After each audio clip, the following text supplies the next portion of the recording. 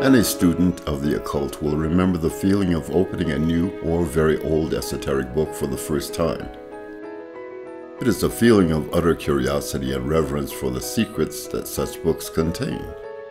Here are five books that are essential to any occult practice and that no serious student should be without. Transcendental Magic by Eliphas Levi.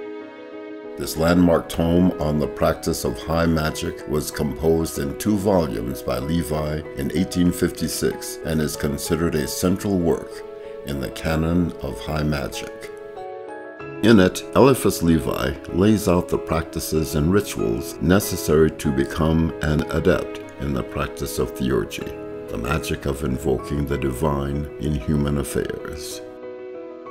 The Symbolism of the Tarot by P.D. Ouspensky.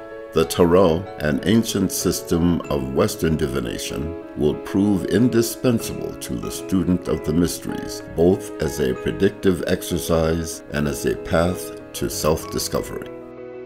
The symbolism of the Tarot is one of the most concise and simple explanations of the incredibly intricate symbolism of the Tarot that is available today.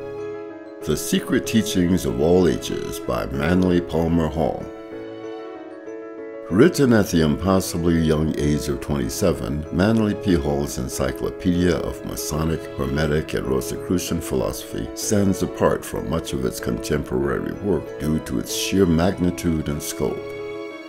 The Secret Teachings of All Ages is an exhaustive reference work that is crucial to any occult study because of its size and depth. No student of the mysteries should be without a copy. Isis Unveiled by H.P. Blavatsky. Considered by many to be the masterwork of H.P. Blavatsky, Isis Unveiled is a treatise on all aspects of the esoteric.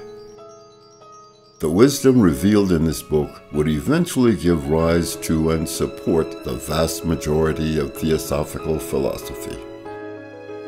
Isis Unveiled deals with both modern science and theology and shows the hidden esoteric ties that bind both seemingly separate fields together and was revolutionary for its time.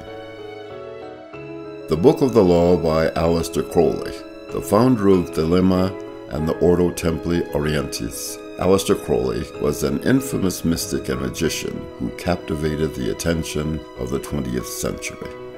An initiate of numerous mystery schools, Crowley outlined the tenets of Thelema in the Book of the Law, which was supposedly communicated to him by ancient extra-dimensional entities.